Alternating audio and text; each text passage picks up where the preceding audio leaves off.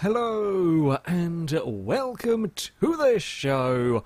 I have some good news today as we are finally, hopefully, going to be getting the hot rod. The hot rod working. So I went around the uh, junkyard a couple of times. I actually came across another 911. Typically, I, I seem to have this luck with cars. It takes me forever, forever to find a single one and then two come along very, very quickly. So yeah, I have got uh, two Porsche 911s. We will be working on them uh, some point today. However, in my search around the junkyard, the primary reason for searching the junkyard was to find one of these. The scoop air filter that is needed to complete the engine on the hot rod.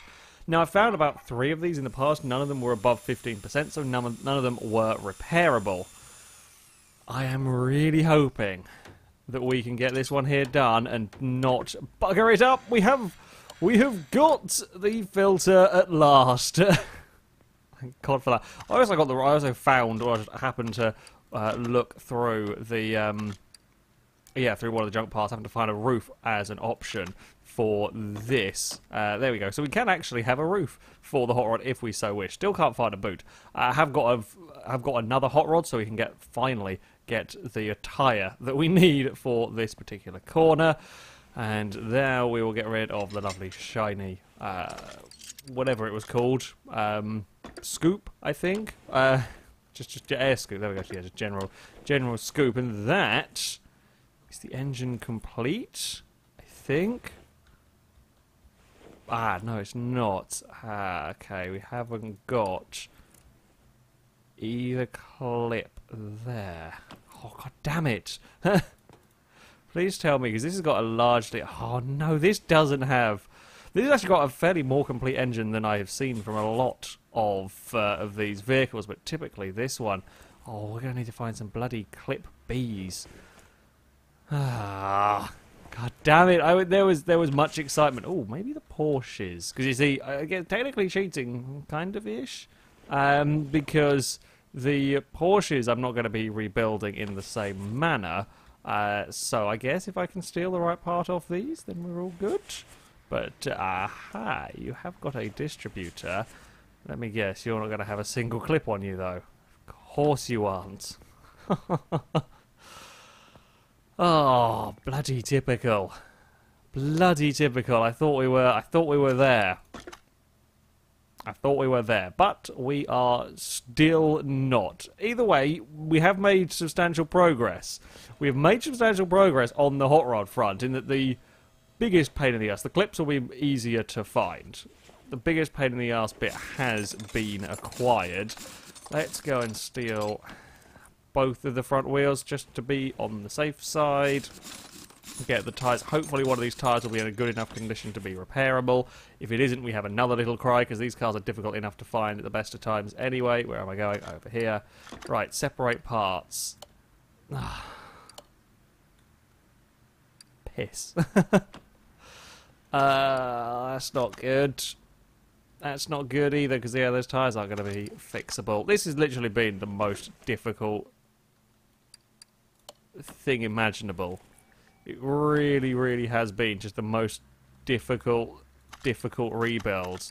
When I, when I set out to build it in a different manner, when I set out to build it, you know, using just reclaimed parts and using various donor cars, we use a lot of donor cars to uh, get the um, to get the vehicle to the stage it is at the moment. I haven't counted, but I think it's about five or six, I think it's six now with the, this pink hot rod.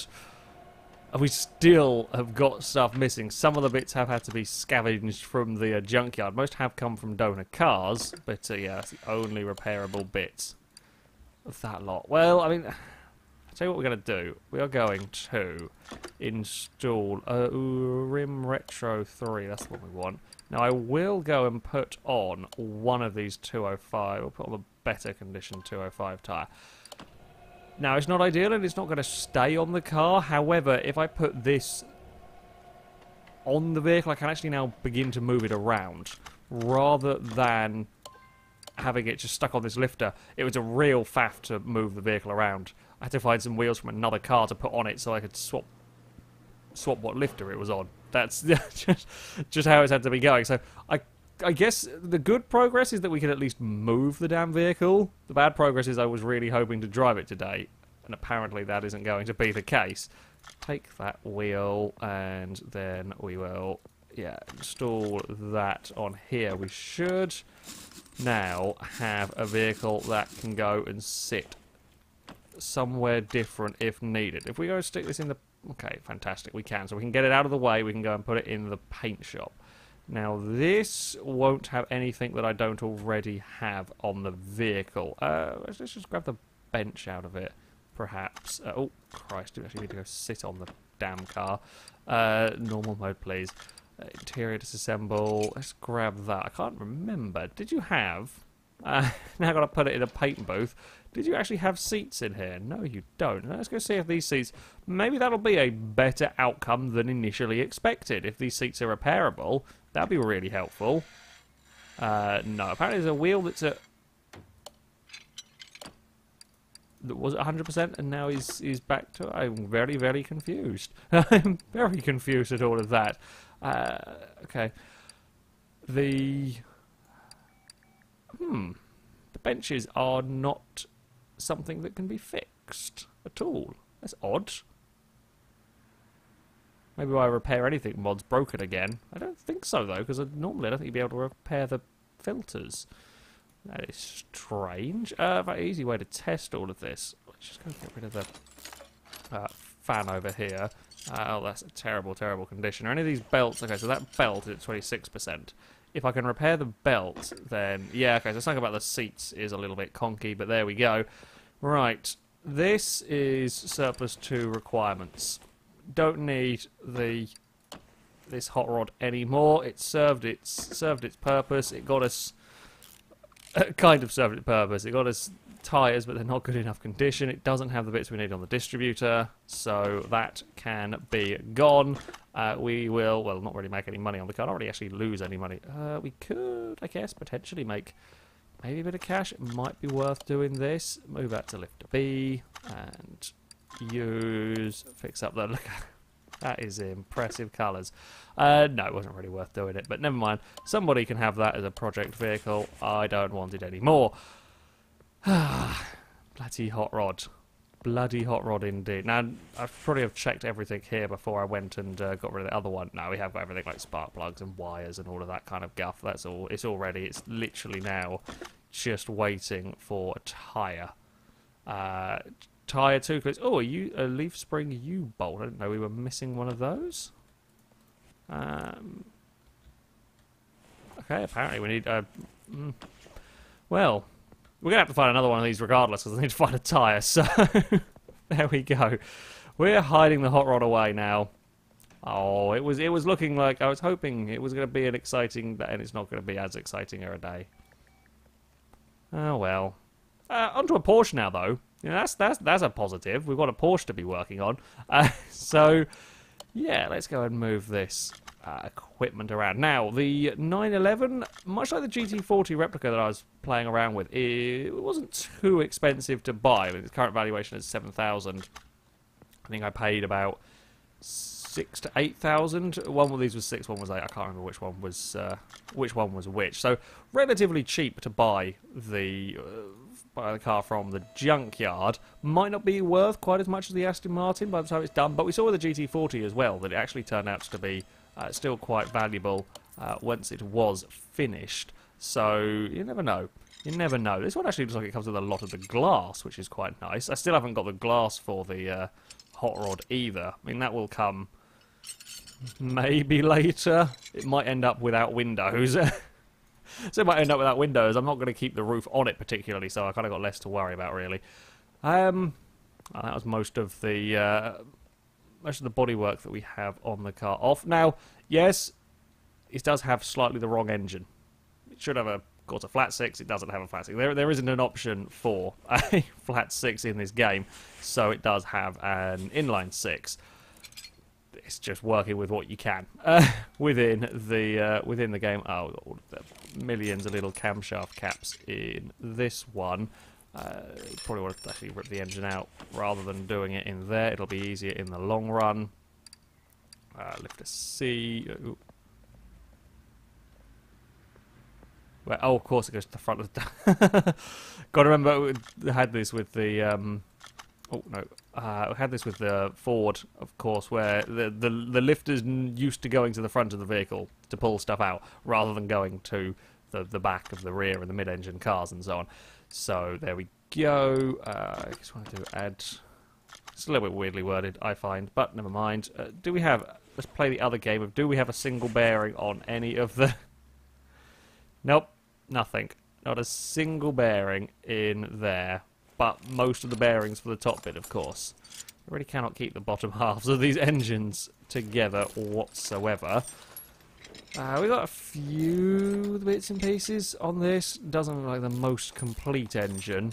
Uh, the other, neither of the Porsches actually have got particularly uh, complete engines here. I don't think the i6 was too terrible, if I remember rightly. The Aston Martin would have been the last vehicle I worked on with this engine. You do get the, I actually get a few i6s in the older American cars there's like a i6 variant now for a lot of them. There's quite a few different variants going for the uh, the game's basic cars, if you will. And yeah, i6s are a, like a, lower a lower spec model, if you like. Uh, of course, it's going to do that this time around. However, that's a that's a real, real basic i6. This one here is a little bit uh, a little bit fancier. Uh, not still not the most powerful of oh, most powerful of engines that you can possibly work on, but it's not quite as awful as as some, I guess. Yes, it's somewhere roughly roughly around the middle. Shame you can't make them real ridiculously powerful at the moment. As I said, I believe tuning DLC is not so far away and there are you can find various performance parts as you scour around in the uh, junkyard. At the moment, there's no use for them. You can't do anything uh, with them because the engines will accept them. However, they are around about the uh, the place. Uh, this uh, engine head has actually got a decent number of bolts holding it in, rather than normal just slide slide the head off once you've undone everything inside it. But there we go. Oh, pistons are largely buggered in here.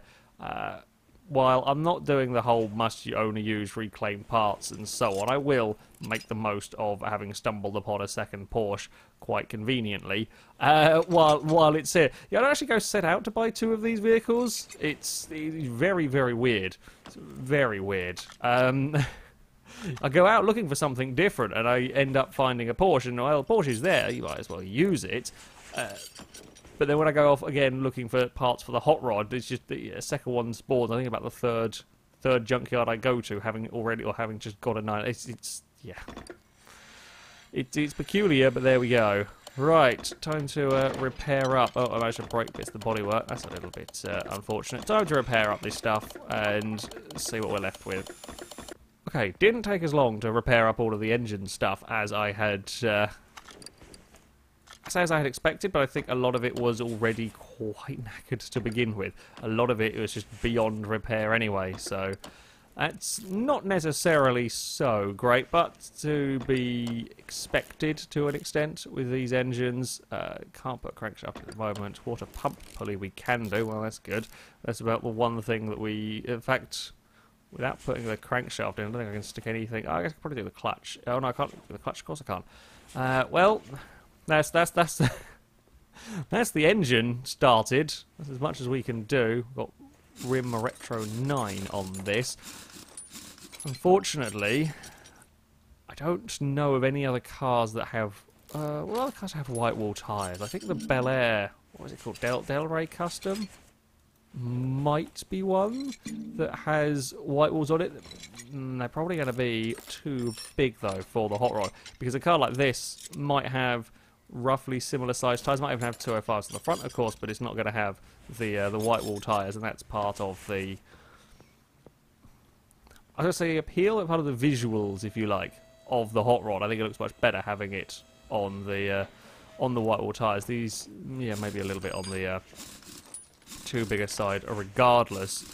Even if they happen to be in good enough condition, and I certainly don't want to have uh, lopsided amounts of tyres it's just going to be one of those, uh, one of those searches. We had the giant search for the bloody um, scoop filter thing, and now we're going to be searching for another hot rod.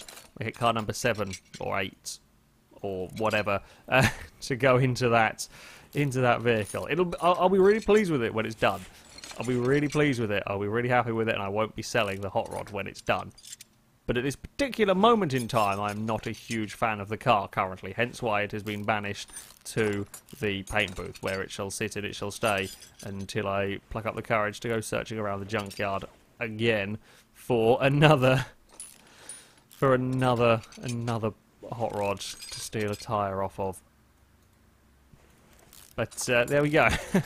As is the uh, as is the way with Car Mechanic Simulator. I did read somewhere about uh, potentially for the future having ways of searching through more specialised areas. Uh, so having you know junk piles more likely to have let's say V8 parts or um, V6 parts and all that kind of thing.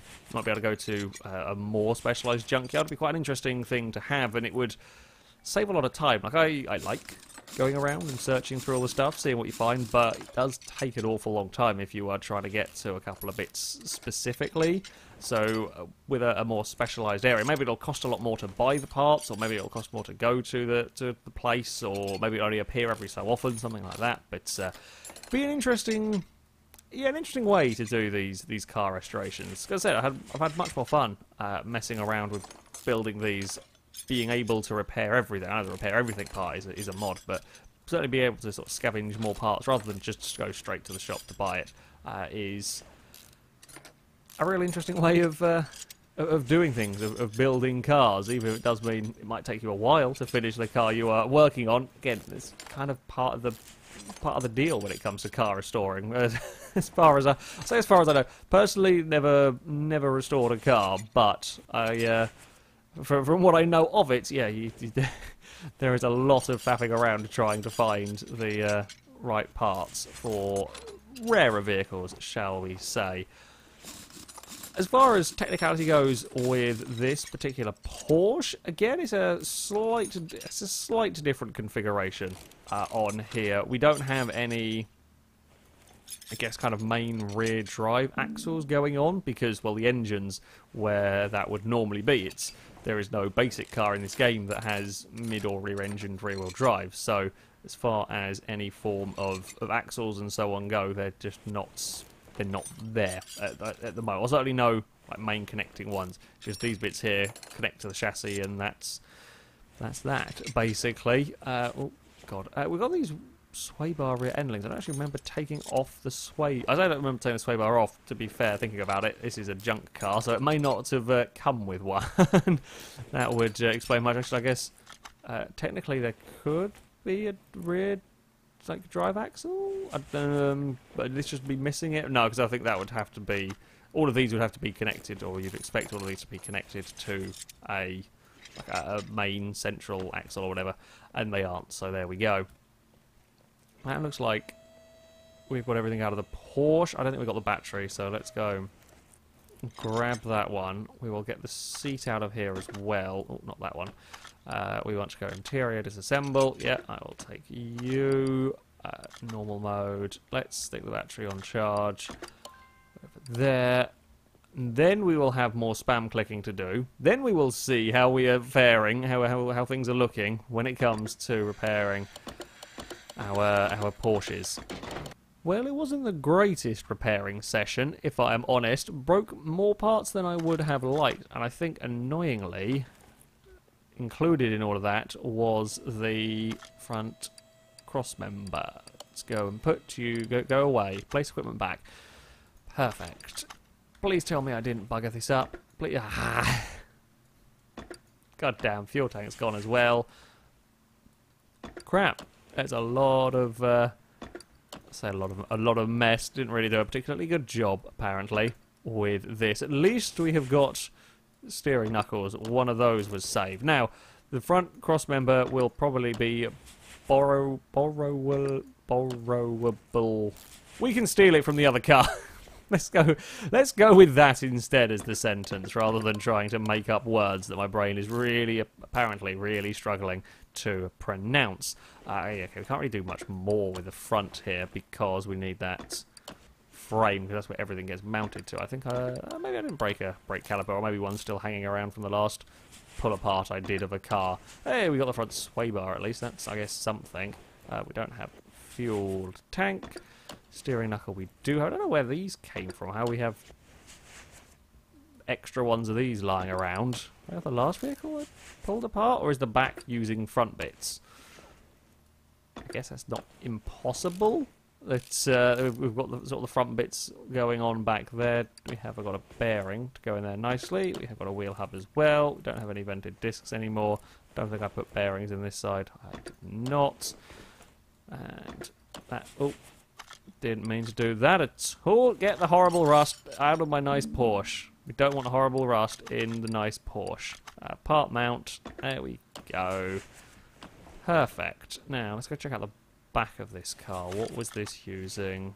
I know that is a, is a rear a rear part. So there we go. They're both gone beyond use. That's is still working. I've got both the rear hubs. That's at least something. We repaired, I think, got most of the bushings as well, which is always helpful. The less of those we have to worry about, the better. Yeah, we might have enough to complete a half of the car. Probably not quite going to have enough so probably we're definitely not going to have enough to complete both sides. I wouldn't expect necessary. I I wouldn't expect necessary. I wouldn't expect to with the uh, level of condition the parts come off the vehicles. Yeah, having everything managed to be repairable is uh, not not going to happen.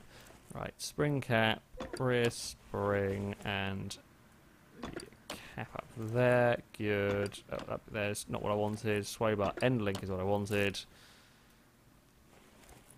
Okay, do we have a... We have a solitary brake disc, and that can go on. We have got enough calipers, we've got enough cylinder. Actually, no, tell a lie, I think we're going to need to find a cylinder of some description somewhere.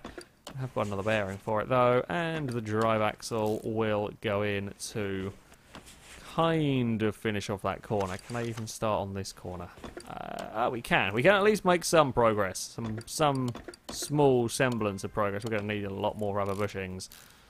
Ah, that hasn't been a problem for a while. I had not missed that. No. I had I had not missed that particularly. And the rest is all crap. Ooh. Okay, I've only just seen where the radiator goes. That's interesting. Well, that is going to be is going to be it for now. I am quite sad we couldn't get that hot rod up and running today it's always something. There's always something with that car. I think there might always, always be. Either way, the Porsche is now starting to take shape quite nicely. We're going to have to tear the other one apart to get various bits and pieces, though. Uh, couldn't quite repair enough, and typical, typical, some fairly critical pieces of this engine um, were not repairable, i.e. the crankshaft that's needed for almost everything else to go on it. So, yeah, there we go. At least most of the running gear is in uh, relatively good nick. That, though, is going to be it from me. Uh, as ever, I shall link all the mods I've used in the description, so you can download them, have a go or with them yourself. But uh, thank you very much for watching, and until next time, uh, goodbye.